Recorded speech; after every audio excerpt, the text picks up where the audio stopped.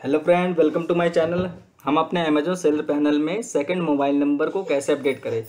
जब भी हम अपना सेलर पैनल लॉगिन करते हैं तो आईडी पासवर्ड डालने के बाद एक ओटीपी रिक्वायर होता है।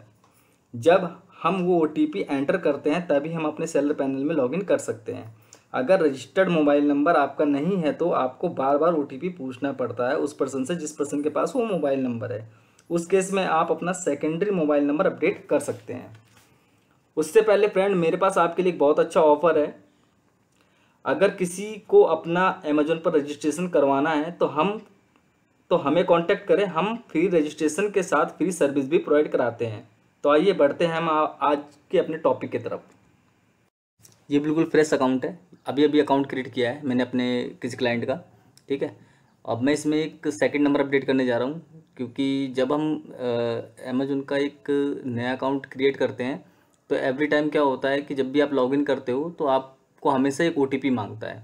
और ओटीपी उसी नंबर पर जाता है, जिस नंबर पे, जिस नंबर को आपने रजिस्टर्ड कराया होता है, ठीक है? और विदाउट ओटीपी आप अमेजोन का सेलर सेंटर पैनल कभी भी ओपन नहीं कर सकते।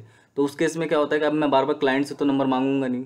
तो उस उस केस में मुझे एक सेकेंडरी नंबर अपडेट करना पड़ता है। तो कैसे करते हैं? तो आइए बताता हूँ आपको।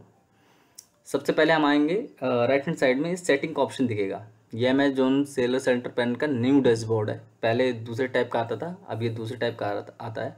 ठीक है सेटिंग का ऑप्शन दिखेगा आपको। राइट हैंड साइड में मैं आपको व्यू करके दिखा देता हूँ। ठीक है? उसके बाद आपको आना है लॉगिन सेटिंग में। ये आपको दिख रहा होगा लॉगिन सेटिंग इस पर क्लिक करना है। ठीक है? जैसे आप लॉगिन सेटिंग पे क्लिक करेंगे तो आपको यहाँ पे एक डिटेल्स दिखेगी। आपके स्टोर का नाम email ID primary mobile number. ये आपका बेसिकली वो मोबाइल नंबर जो आपने अकाउंट क्रिएट करते समय दिया है। और जब भी मैं इस अकाउंट को लॉगिन करूँगा तो हमेशा जो ओटीपी जाएगा, वो इसी नंबर पर जाएगा। ठीक है?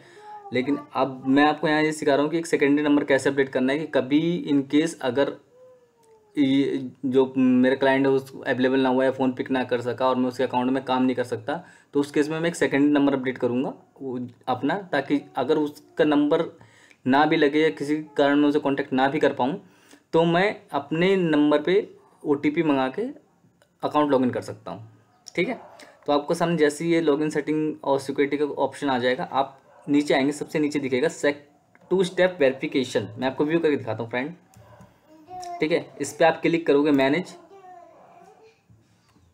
मैनेज के बाद आपको दिखेगा टू स्टेप वेरिफिकेशन और उसके बाद आप देखेंगे प्रिपेयर्ड मेथड बैकअप मेथड्स तो बैकअप मेथड्स पे बैकअप मेथड्स पे आपको दिखेगा add new app and add new number. तो ऐड न्यू नंबर में आपको क्लिक करना है।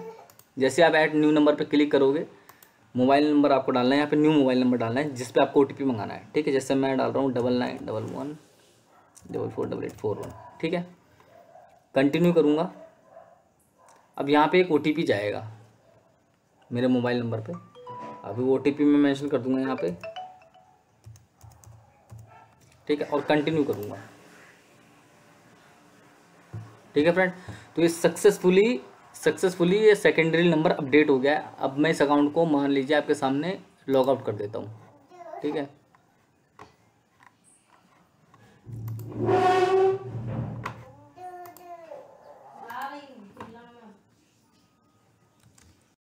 अब हम इसे दोबारा लॉगिन करेंगे।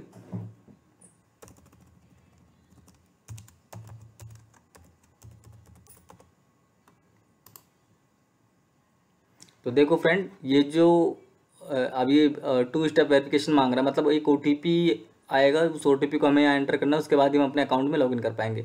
तो ये ये मेरे क्लाइंट का जो नंबर है, उस पर ओ गया है। बट मैंने अभी आपको सिखाया कि वहाँ पे अपना सेकंड नंबर कैसे अपडेट करते हैं? जो मैंने सेकंड नंबर अपडेट कर रखा है, अब उसके लिए मुझे क्या करना है? Did not receive the O T पे क्लिक करना है। अब देखिए, ये मेरे क्लाइंट का नंबर है लास्ट में है एट टू वन और ये मेरा नंबर है एट फोर वन ठीक है? अब मुझे ओटीपी चाहिए अपने एट फोर वाले एट फोर वन वाले नंबर पे। तो टेक्स्ट या कॉल के थ्रू मैं ओटीपी मंगा सकता हूँ तो मुझे टेक्स्ट के थ्रू जाता हूँ, ठीक है? सेंड ओटीपी पे क्लिक किया। अब ओटीपी मुझे मेरे फ़ोन पर रिसीव होगा, ठीक है? ओटीपी रिसीव हो गया है।